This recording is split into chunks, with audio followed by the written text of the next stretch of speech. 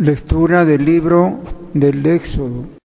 Así dice el Señor, voy a enviarte un ángel por delante para que te cuide en el camino y te lleve al lugar que he preparado. Respétalo y obedécelo. No te rebeles, porque lleva mi nombre y no perdonará tus rebeliones. Si lo obedeces fielmente y haces lo que yo digo, tus enemigos serán mis enemigos y tus adversarios serán mis adversarios. Mi ángel irá por delante. A sus ángeles ha dado órdenes para que te guarden en tus caminos.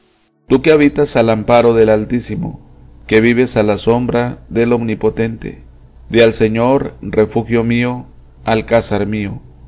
Dios mío, confío en ti. A sus ángeles ha dado órdenes para que te guarden en tus caminos. Él te librará de la red del cazador, de la peste funesta.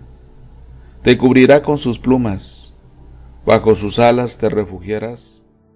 A sus ángeles ha dado órdenes para que te guarden en tus caminos. Su brazo es escudo y armadura. No temerás el espanto nocturno, ni la flecha que vuela de día, ni la peste que se desliza en las tinieblas, ni la epidemia que devasta a mediodía.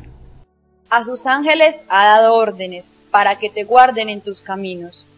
No se te acercará la desgracia, ni la plaga llegará hasta tu tienda, porque a sus ángeles ha dado órdenes para que te guarden en tus caminos. A sus ángeles ha dado órdenes para que te guarden en tus caminos. Evangelio según San Mateo.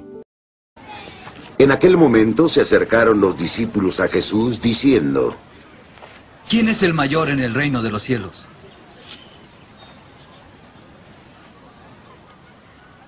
Él llamó a un niño, lo puso en medio de ellos y dijo, Yo os aseguro, o cambiáis y os hacéis como los niños o no entraréis al reino de los cielos. Quien se haga pequeño como este niño es el mayor en el reino de los cielos. Y el que reciba a un niño como este en mi nombre, me recibe a mí.